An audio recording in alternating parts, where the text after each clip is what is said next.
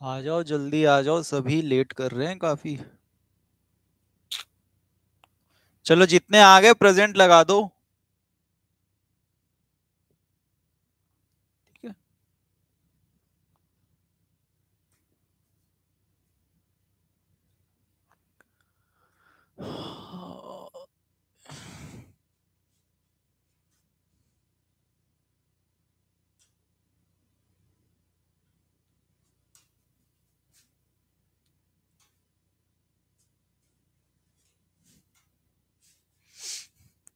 Aryan Verma good afternoon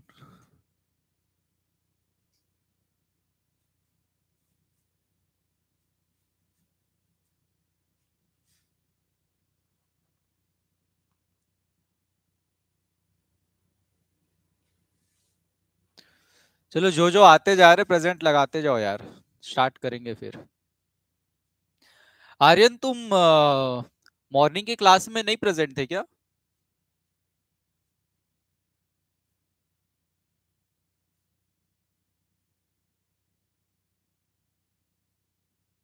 या फिर तो दिक्कत होगी। क्योंकि ये उसी का सेकंड पार्ट है मॉर्निंग की क्लास का। चलो, समझ जाना। इसको जैसा परफॉर्म करेंगे, वैसे मॉर्निंग की क्लास को भी सेम ही प्रोसीजर है। थोड़ा बहुत चेंजेस है। क्या चेंजेस है वो मैं बताऊँगा। ज़्यादा लंबा प्रोसेस नहीं रहने वाला है इसका, क्योंकि हमने बहुत डिटेल में डिस्कस कर लिया मॉर्निंग की क्लास में।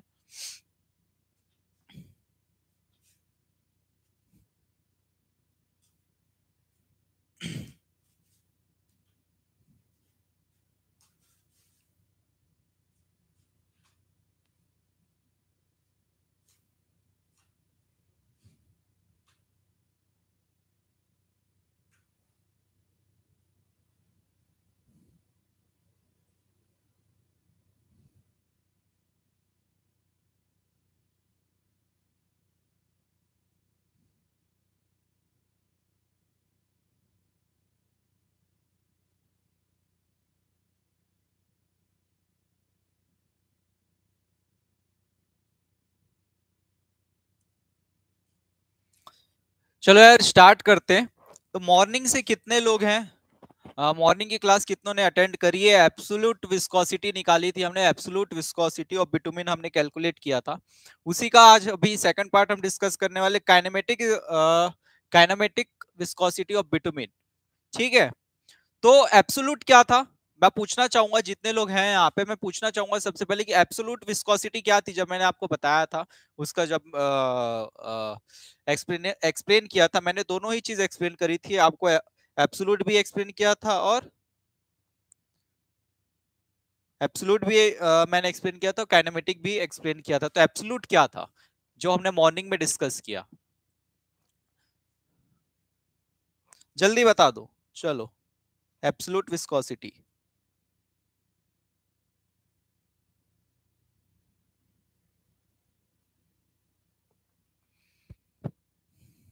अगर मैं सिंपल से शब्दों में बोलूँ कि एब्सोल्यूट विस्कोसिटी क्या थी, जितना आपको याद रखने की ज़रूरत है, उतना मैं आपको बता देता हूँ कि एब्सोल्यूट विस्कोसिटी हमारी थी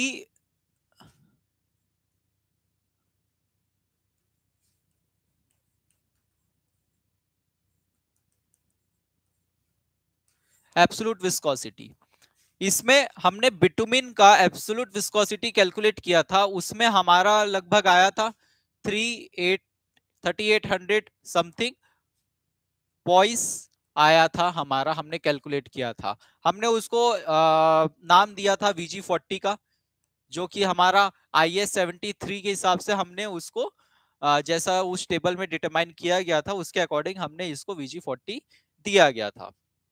ठीक है, thirty eight hundred point something आया था एग्जैक्ट वैल्यू देखने के लिए आप लाइव में जा सकते हैं इसके पहले वाली लाइव में। अब हम यहाँ पे एब्सोल्यूट विस्कोसिटी में क्या क्या पैरेटस यूज़ किया था हमने? हमने एक three two five seven three two five seven Saeed Latif ji late हैं आप।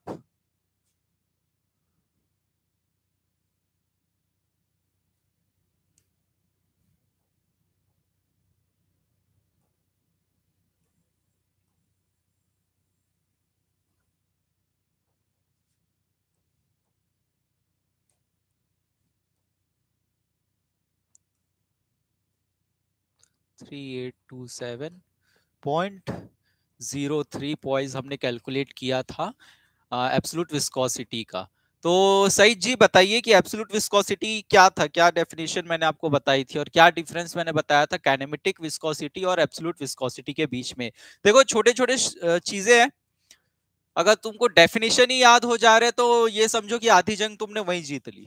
अगर तुमको उसका मतलब ही समझ आ जा रहा है कि उसको करने का मीनिंग क्या है तो आधी जंग तुमने तो वही जीत ली है। ठीक है? सुबह ही मैंने बताया था एब्सोलूट विस्कोसिटी के बारे में तो जल्दी मेरे को एब्सोलूट विस्कोसिटी बता दो। छोटा सा एक्सपेरिमेंट है ऑलमोस्ट हमारे जो आधे स्टेप्स है, वो तो सिमिलर रहने वाले, जहाँ पे चेंजेस आने वाले, वो मैं आपको बताऊँगा।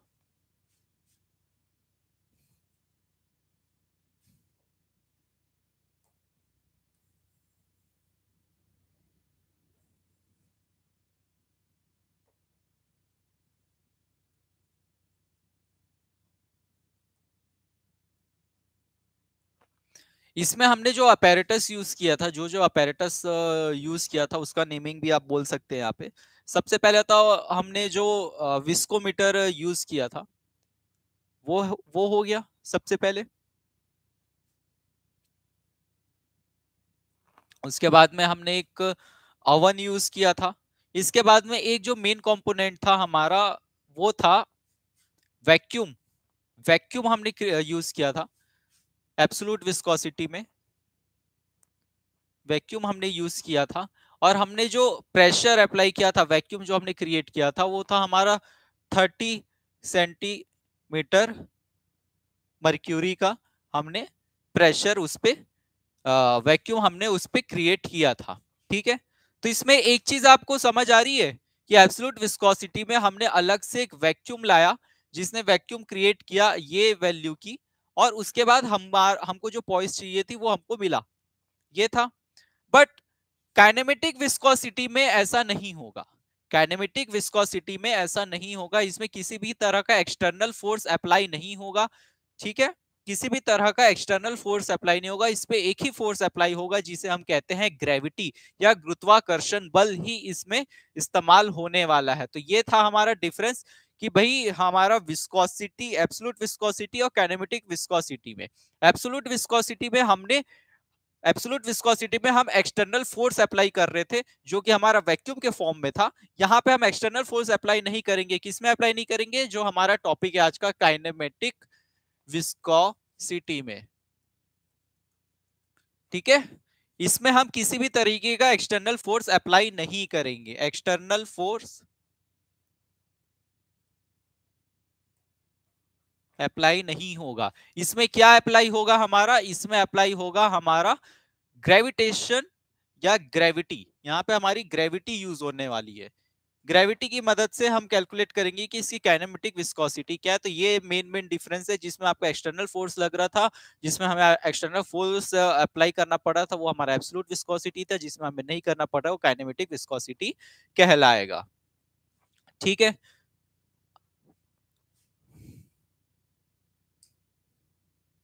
चलिए। इसके लिए भी हम I S code twelve zero six part three use करने वाले हैं, ठीक है? पिछले वाला हमने पार्ट टू डिस्कस किया था, इसमें हम पार्ट थ्री डिस्कस करेंगे। पार्ट वन हम नहीं डिस्कस किए थे, वो हमारा ऑफ़ टॉपिक था। पार्ट थ्री हम डिस्कस करने वाले यहाँ पे पार्ट टू है। इसको पार्ट थ्री कर लो, ठीक है? Twelve zero six part three हम यूज़ करने वाले हैं।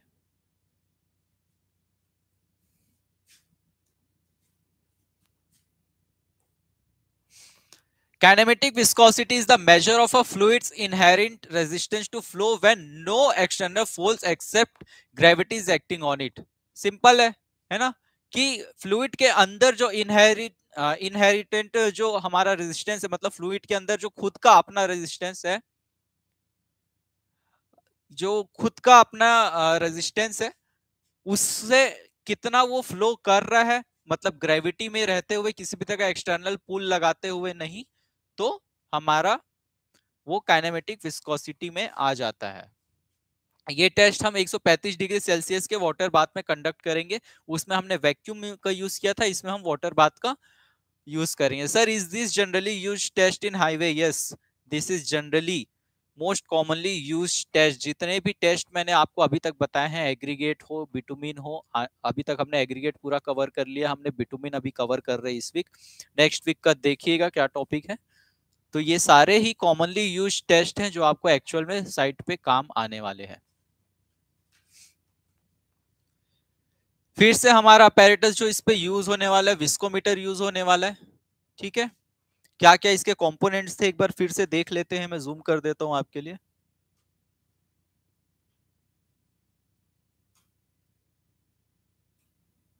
मैं एक बार और जो अभी पहली बार है उनके लिए एक बार एक्सप्लेन कर देता हूँ।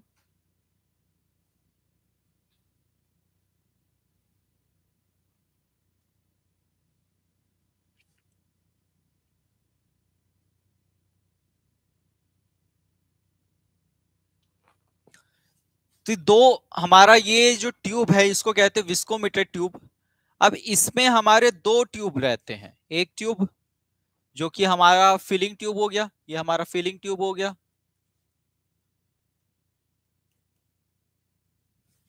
फिलिंग ट्यूब और ये हमारा वैक्यूम ट्यूब बट इसमें तो हम वैक्यूम यूज़ नहीं कर रहे हैं। तो क्या करेंगे? हम यहाँ पे कॉक लगा देंगे।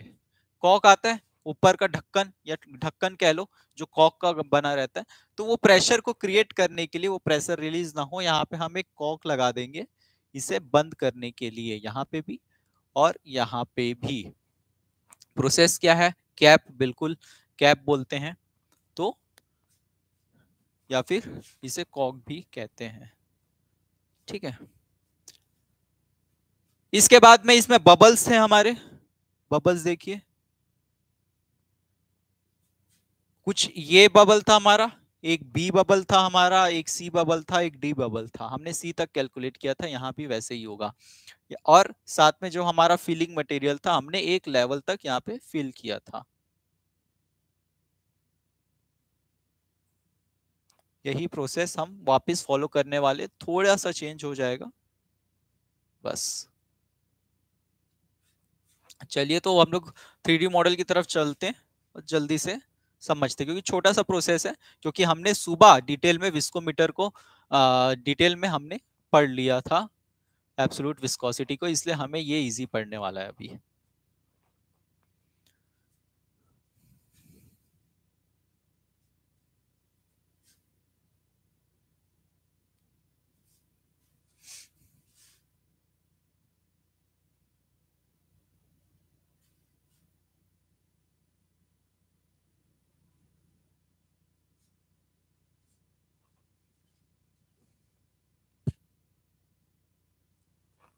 चलिए, शुरू करते हैं।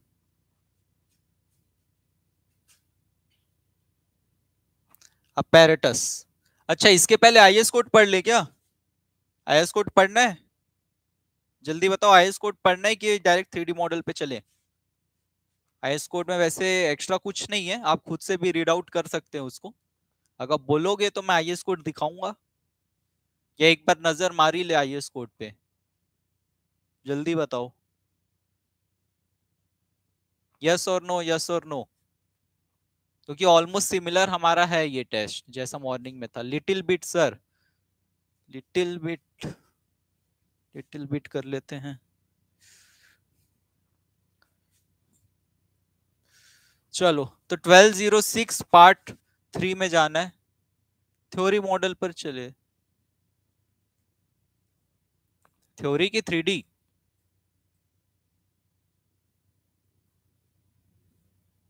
1205 है ये। हमें 1206 आईएस कोड पे जाने 1206 पार्ट वन पार्ट वन है।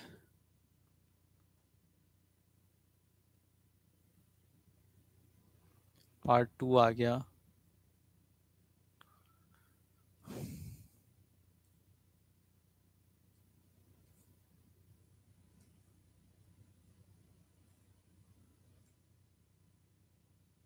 चलो, आ गए पार्ट थ्री पे। Method for testing tar and bituminous material determination of viscosity kinematic viscosity part three terminology ये सब आप पढ़ लेना।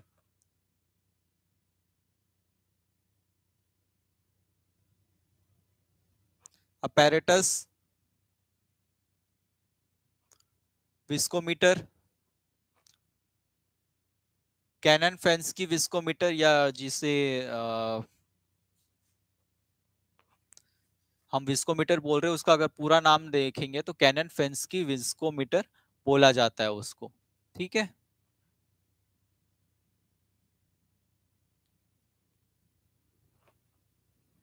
ये टेबल है डायमेंशंस बताए गए हैं कि कौन से साइज़ का हमें यूज़ करना है, इसके अकॉर्डिंग इनसाइड डाया आपको मिल जाएगा कैनेमेटिक विस्कोमीटर का रेंज आपको बताया गया है इसमें।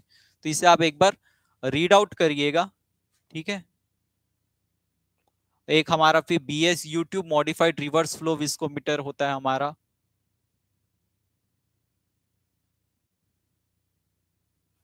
कुछ इस तरीके का हमारा विस्कोमीटर रहने वाला है कैनन फेंसकी का। अब इसमें हमारा डिफरेंस क्या आने वाला है? उसमें जब हमने वैक्यूम यूज़ किया था, यहाँ पे, यहाँ से हमने पोर किया, यहाँ से हमारा ग्रेविटी की मदद से ये ऊपर आने लगेगा तो वो हमारा ग्रेविटी काम करेगी, किसी भी तरह का एक्सटर्नल फोर्स नहीं लगेगा इसमें, इसलिए ये हमारा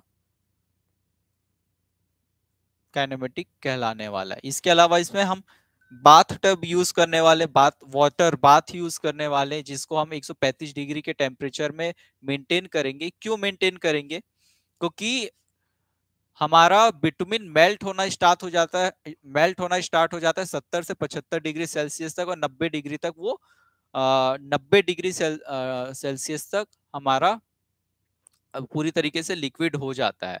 बट 135 में हमें उसे मेंटेन करके टेस्ट करना है ताकि वो पूरी तरीके से लिक्विड फॉर्म में रहे और फ्लो होने में किसी भी तरीके की दिक्कत नहीं हो। क्योंकि हमारी जो बिटू जो हमारा बिटुमिन होता है, वो एक बहुत ही विस्कस मटेरियल होता है जो ठंड में ठंड में मतलब नॉर्मल टेम्परेचर में रूम टेम्परेचर में एक सॉलिड फॉर्म ले लेता है।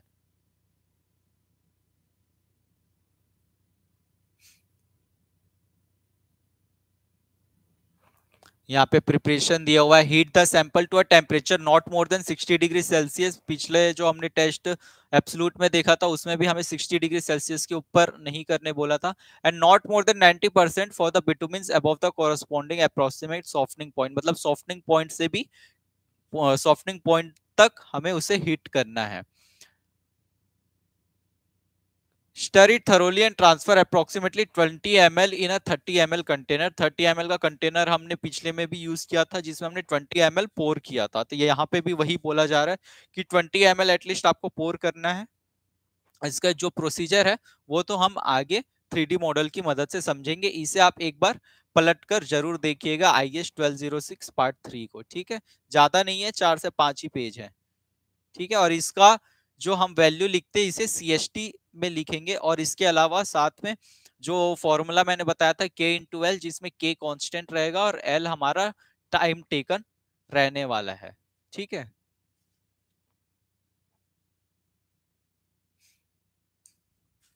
चलो थ्री मॉडल पे आ गए अब।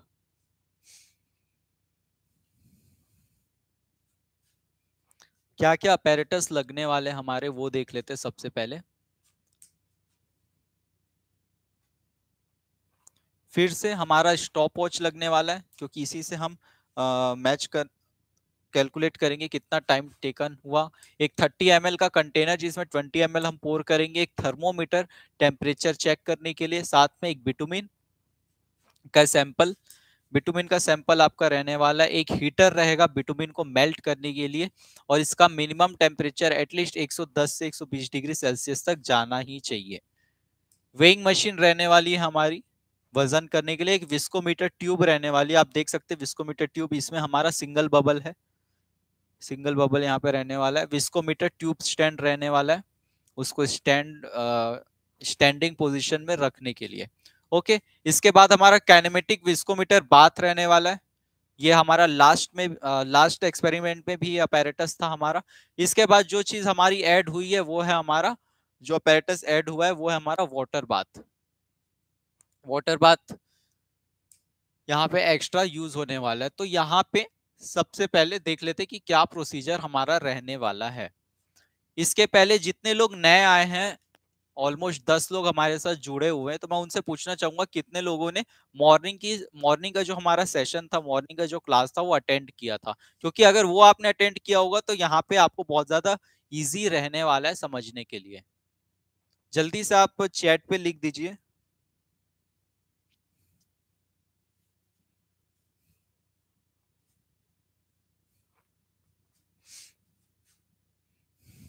स्टेप वन में क्या कह रहा है हमारा? Take the bitumen sample in a beaker and heat it to a temperature not more than 60 degree Celsius for tars and pitches while the temperature should not exceed 90 degree Celsius for bitumen above the respective softening point temperature tar and हमारा pitches के लिए हमारा temperature 60 degree Celsius के ऊपर नहीं जाना चाहिए और बिटुमिन के लिए हमारा 90 डिग्री सेल्सियस के ऊपर नहीं जाना चाहिए, जो कि उसके सॉफ्टनिंग पॉइंट के नियरेस्ट है। ठीक है? तो ये एक बार आप, आपको हीट करना है। हीट करने के बाद में जब वो मेल्ट हो जाए लिक्विड फॉर्म में आ जाए तो 30 एम के जो हमारा कंटेनर था, उसमें आपको पोर करना है। पोर करने के बाद में वहाँ से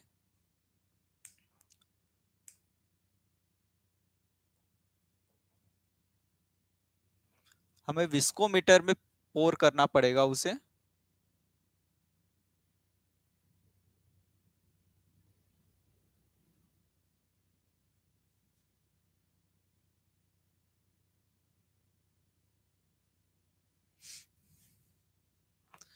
क्या दिक्कत हो गया इसको?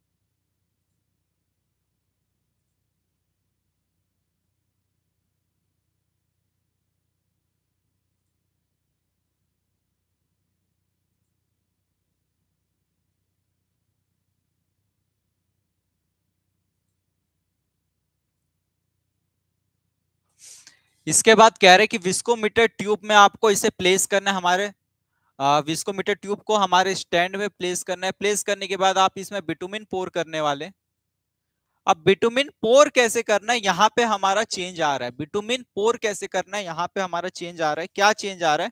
कि बिटुमिन हमने पहले ओपन में हमने पोर कर दिया था।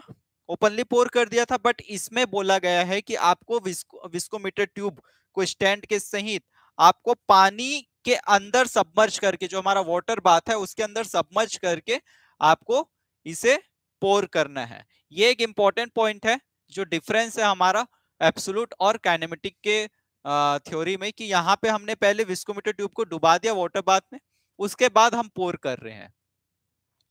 ठीक है 20 एम का सैंपल हमने लिया था, उसे ही हमें इसमें पोर करना है वाटर के अंदर इसके बाद में pour to a point just above filling mark G allow the sample to flow freely through the capillary arch, taking care that the liquid column remains unbroken until the lower mark h. यहाँ से आपने पोर करना चालू किया। Left side से आपने bitumen पोर किया। कहाँ तक पोर करना है? आपको इस लेवल तक, जो हमारा बबल का लेवल है, उस लेवल तक आपको उसे पोर करना है। और उसके बाद में उसको फ्री फॉल होने देना है।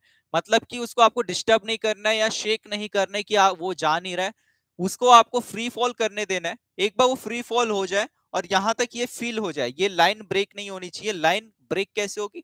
आपको यहाँ पे प्रेशर क्रिएट करके रखना है। प्रेशर आपने कैसे क्रिएट किया था? आपने जो, आपको मैंने जो बताया, जो आपने कैप लगाया था, वो कैप यहाँ पे लगे रहना चाहिए। अगर कैप निकला रहेगा तो ये आगे फ्लो करना स्टार्ट हो जाएगा। वो कैप को हमें तब तक नहीं निकालना है जब तक हम एक्चुअल एक्सपेरिमेंट स्टार्ट नहीं कर देंगे। ठीक है? देख रहे हो, दोनों तरफ़ हमने कैप लगा दिया है। और इसे तब तक हम नहीं निकालेंगे जब तक हमारा टेस्ट का प्रोसीजर स्टार्ट नहीं हो जाता। Arrest its flow by closing the timing tube with a Kock or rubber stopper stoppering tube L more liquid if necessary to bring the upper meniscus uh, slightly above the mark G. अगर आपको और पोर करना है उसको उस level तक लाने के लिए G के लेवल तक लाने के लिए तो आप और पोर कर सकते हैं। And after allowing the sample to attain bath temperature and any air bubble to arise to the surface temperature of water bath is 60 degree celsius and keep it in water bath for 20 to 30 minutes. मतलब 30 20 से 30 minute तक आपको water bath में इसे आ, रखना है और किसी भी तरह का एयर बबल है वो इस बीच में निकल जाएगा और इस लेवल के ऊपर आ जाएगा। साथ में वाटर बाथ का टेम्परेचर हमने मेंटेन करके रखा है 60 डिग्री सेल्सियस पोरिंग के लिए। पोर करते तक हमने 60 डिग्री सेल्सियस तक इसे मेंटेन करके रखा है। आगे चल के इस ये बढ़ने वाला है हमारा टेम्परेचर तो स्टेप सेवन में चलेंगे। उसके बाद विस्को काइनेमेटिक विस्कोमीटर बाथ में हमें इसे उठाकर पुट कर देंगे। अब इसके अंदर हमारी दो चीज़ें हो सकती है। या तो आप इसके अंदर वाटर डालकर भी यूज़ कर सकते हो जो कि हमारा आ, ये जो हमारा कैनेमेटिक विस्कोमीटर बात है इसके अंदर आप दो चीज़ें पोर कर सकते हो। या तो आप ऑयल पोर कर सकते हो या तो आप वाटर डाल सकते हो। मतलब जो आपका हीटिंग एजेंट रहने वाला है, वो वाटर भी हो सकता है, साथ ही साथ में आपका ऑयल भी हो सकता है। नेक्स्ट स्टेप में चलते हैं। ज़्यादा चेंजेस नहीं है, दोनों में ही। यहीं पे आकर हमारा चेंज हो जाता है। इसके बाद में जो हमारा 60 डिग्री सेल्सियस तक का टेम्परेचर हमने मेंटेन करके रखा था वाटर बाथ में, वो काइनेमेटिक विस्कोमीटर बाथ में आकर उसको हमें बढ़ाना 135 डिग्री सेल्सियस तक। यहाँ पे आप देख सकते हैं 135 डिग्री सेल्सियस के टेम्परेचर में पहले हम 30 मिनट तक उसे डुबो कर रखें। अब 30 मिनट तक इसे रखने की ज़रूरत क्यों पड़ रही है? ताकि जो हम 60 से 135 पे ला रहे हैं 60 डिग्री सेल्सियस से सीधा 135 पे लाएँ तो अंदर का जो हमारा बिटुमिन है, वो टेम्परेचर अटेन कर लेना चाहिए मतलब वो टेम्परेचर तक पहुँच जाना चाहिए। तो उसको पहुँचने के लिए हमने एटलीस्ट तीस मिनट का टाइम दिया। तीस मिनट हमने इसको वो गर्म होने का टाइम दिया किसमें विस्कोमीटर वाटर बाथ में। वाटर भी यूज़ कर सकते हो ऑयल भी यूज़ कर सकते हो, ये भी मैंने बताया। और after 30 minutes of completion 30 minute की कंप्लीशन के बाद आप अपना एक्सपेरिमेंट स्टार्ट कर सकते हो। तो यहाँ पे आपको एक्सपेरिमेंट स्टार्ट करने के लिए जो ऊपर का कैप हमने लगाया था, जैसे ही आप ऊपर का कैप हटाएँगे, उसमें से जो हमारी बिटुमिन है वो आगे फ्लो करना चालू कर देगी। तो जैसे ही आप ऊपर का कैप हटा रहे हैं, वैसे ही आपको आपका स्टॉप वॉच स्टार्ट कर लेना है। स्टॉप वॉच स्टार्ट करने के बाद आपको वो टाइम रीडिंग नोट करनी जब तक ये ऊपर बिटुमिन हमारा पहुँच जाता है एफ़ लेवल तक। After completion of 30 minutes remove the stopper in the tube N and L एक का नाम हमने एन और एक एल दिया था respectively respectively and allow the gravity to pull it मतलब ग्रेविटी की मदद से अब ये फ्लो होगा। यहाँ पे हमें किसी भी तरीके का चेंजेस नहीं करना है। किसी भी तरह का इंटरफेयर नहीं करना है, किसी भी तरह का एक्सटर्नल प्रेशर नहीं लगाना है। अब इसे हमें कहाँ तक वेट करना है इसे फिल होने के लिए? तो इसे फिल होना ये देना है हमें एफ़ लेवल तक। अब यहाँ यहाँ पे जब था हमारा ब्रेक लाइन यहाँ तक हमने फिल कर दिया था, जैसे ही हमने, जैसे ही हमने ऊपर के कैप्स हटाए, ऊपर के कैप्स जब हमने हटाए तो वहाँ से वो फ्लो करना स्टार्ट हुआ। और हमने स्टॉप वॉच स्टार्ट किया और स्टॉप वॉच को हमने तब तक चलाया जब तक ये लेवल राइज होके एफ़ लेवल तक नहीं पहुँच गया। ठीक है? यहाँ तक क्लियर है? तो वो टाइम हमें नोट करना है। क्लियर है यहाँ तक? क्लियर है सभी को यहाँ तक?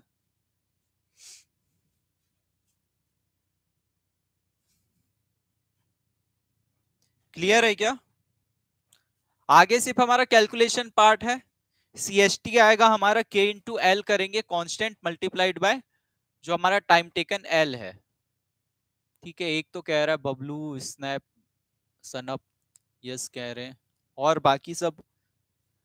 तो मॉर्निंग का जितनों ने अटेंड किया है सेशन अगर आप नहीं किए तो आप वापस जाकर वो लाइव सेशन देख सकते हैं। अगर आप वो देखे होंगे तो यहाँ का सेशन आपको बहुत ज़्यादा इजी लगने वाला है। ऑलमोस्ट आधे जो स्टेप है हमारे सेम सिमिलर है जो थोड़े से चेंजेस थे, वो मैंने आपको बता दिए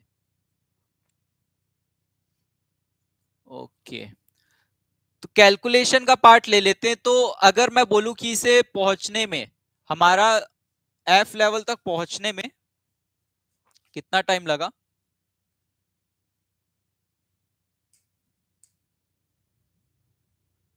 हम्म। तो एफ़ लेवल तक पहुँचने में अगर मैं बोलूँ कि इसको सात मिनट तीस सेकंड लगा तो आप इसे कैलकुलेट कर लोगे। अगर मैं कहता हूँ कि एफ़ लेवल तक पहुँचने के लिए इसको सात मिनट और तीस सेकंड लगे तो आप कैलकुलेट कर लोगे टोटल।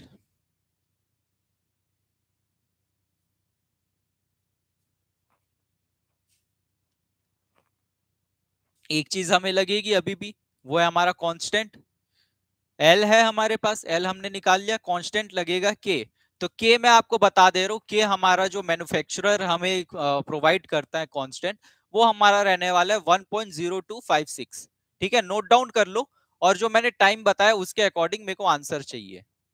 चलो आंसर दे दो अब।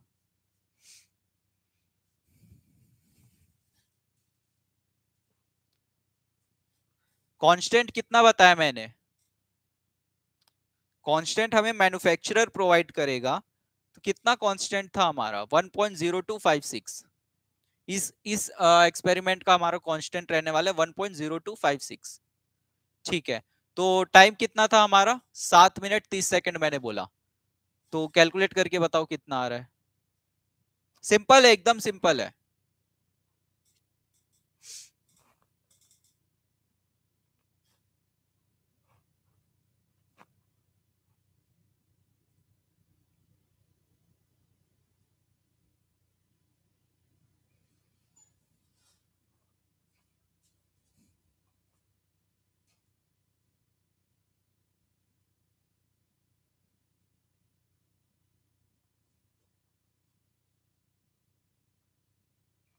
कितना आ रहा है? Four thirty one point two six. एक का रहा है फोर सिक्सटी वन।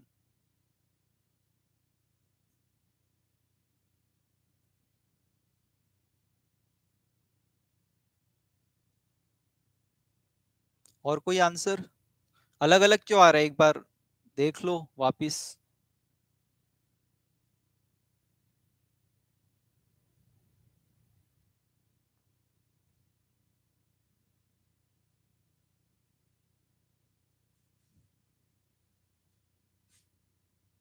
चेक कर लो एक बार कोई जल्दी नहीं है आराम से कर लो।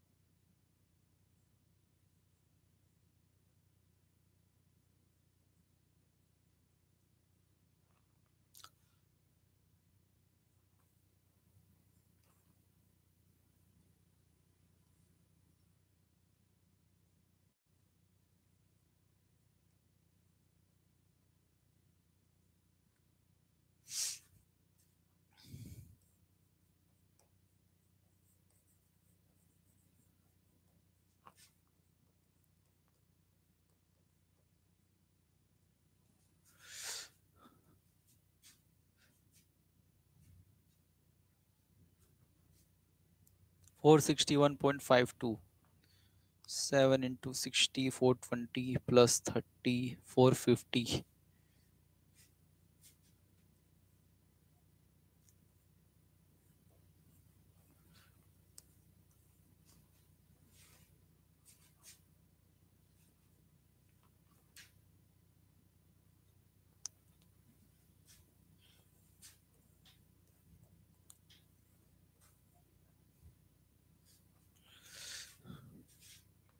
क्या यूनिट रहने वाली इसकी हमारी? C S T C S T का मतलब होता है senti Stokes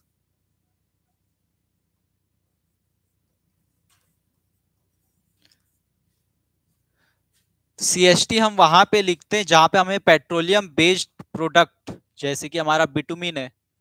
petroleum based product में हमारा बिटुमिन आ गया टार आ गया, है ना? एसफोल्टिक मटेरियल का जब हम काइनामेटिक विस्कोसिटी कैलकुलेट करते हैं तो वहाँ पे हम CST लिखते हैं। तो 461.52 CHT हमारा काइनेमेटिक विस्कोसिटी आ रहा है यहाँ पे।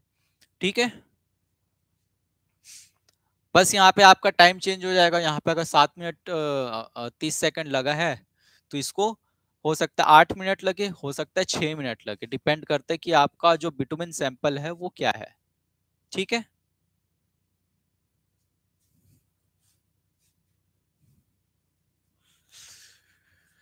क्लियर है यहाँ तक? टेस्ट पास और फेल टेस्ट पास या फेल नहीं बोल सकते इसको। इसमें आपको इसकी जो गिवन सैंपल है, जो सैंपल आपको मिला है, उसकी आपको सिर्फ़ विस्कोसिटी निकालनी थी। आपने सिर्फ़ विस्कोसिटी निकाल दी है। पास या फेल नहीं बता रहे हम। कितनी विस्कोसिटी हो सकती, ये हमको कैलकुलेट करना था। वो हमने कैलकुलेट करके दे दिया। अब वो कैसा है वो उससे पता चलेगा बाद में आगे के टेस्ट में, है ना? तो इसमें कोई पास और फेल नहीं होगा, बस हमें उसकी विस्कोसिटी पता चलेगी। हर एक टेस्ट में पास और फेल नहीं होता। यहाँ तक क्लियर है क्या सभी को?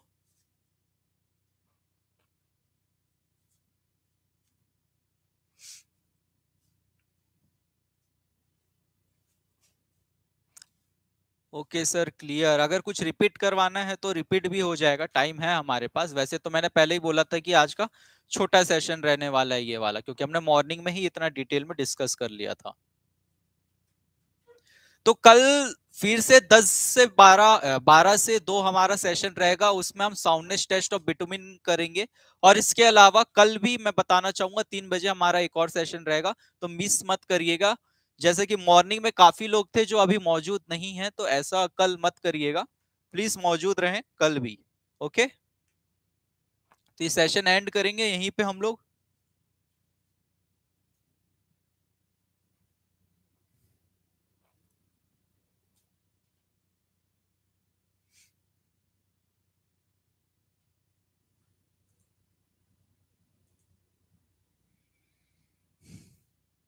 चलिए। एंड करते हैं सेशन बोल के हमारा स्लोगन वाटर एब्जॉर्प्शन टेस्ट का डाउट था C value sir is kinematic viscosity depends upon grades हाँ आपका डेंसिटी जैसी आएगी, जैसा आपका बिटुमिन का ग्रेड रहेगा, उसके हिसाब से वो चेंज होगा, वरना सबका तो एक ही आ जाएगा ना, उस पे ग्रेड पे चेंज होता है। सर वाटर एब्जॉर्प्शन टेस्ट का डाउट था सी वैल्यू सी वैल्यू क्या थी हमारी? Aggregate plus jar plus water का वेट ऐसा ही कुछ था? आई थिंक आगे बोलिए ना, आप आधा डाउट पूछ रहे हो क्वेश्चन भी पूछो ना आगे। कोर्स एग्रीगेट का था फाइन एग्रीगेट का था।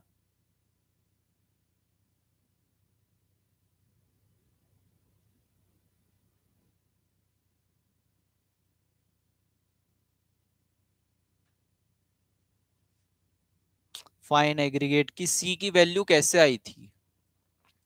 तो सी की वैल्यू आपका देखो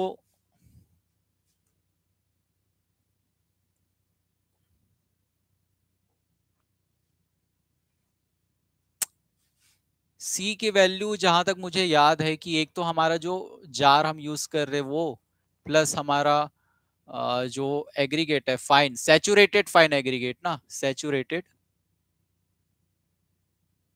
फाइन एग्रीगेट ठीक है? प्लस बस इतना ही था।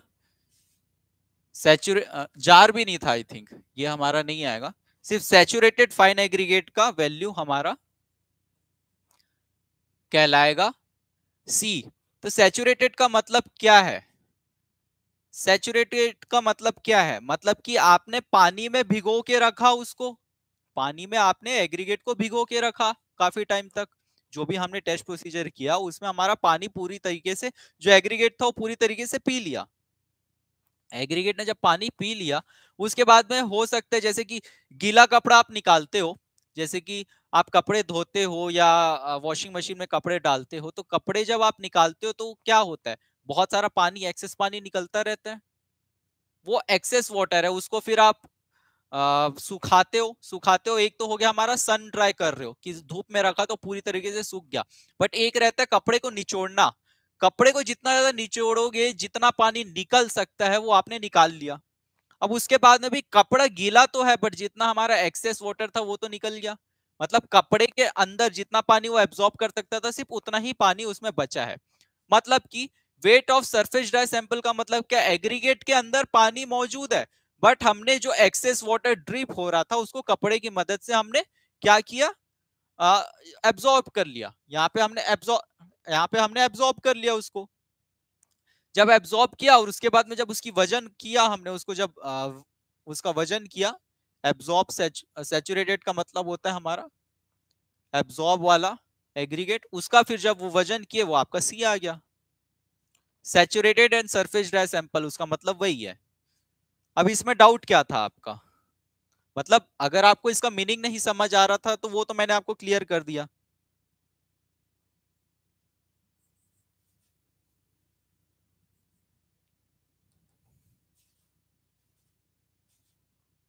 बबलू जी, क्या डाउट था इसमें? ये क्लियर हो गया आपका कि क्या मीनिंग था उसका?